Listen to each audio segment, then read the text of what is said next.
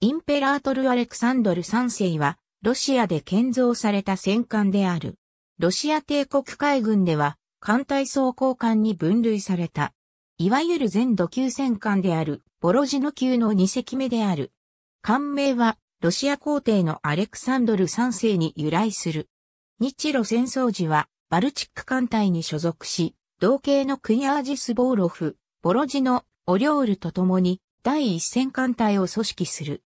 バルチック艦隊が第二太平洋艦隊として極東派遣が決定されるとこれに参加し、苦難の末の1905年5月27日、日本海海戦に参戦することになる。同艦は、機関クニャージス・ボーロフに続く2番艦として、艦長のブハボストフ大佐のもと戦った。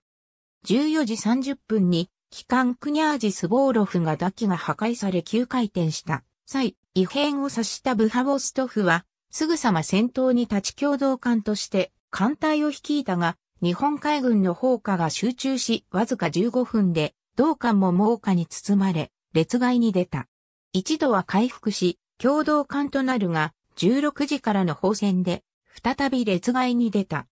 18時頃からの砲戦では10隻の主力艦列で6番目に位置していたが、艦首が破壊されて左舷に傾いており、ほどなく左側へ脱出したが、乗員の必死の復旧も実らず19時頃左舷より転覆して沈没する。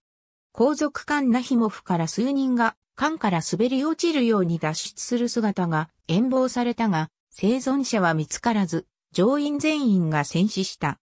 なお、後続艦はインペラートル・アレクサンドル3世に続行しており、オリョールなどの列から外れ4分5列となったところを、かっこ撃破されている。ありがとうございます。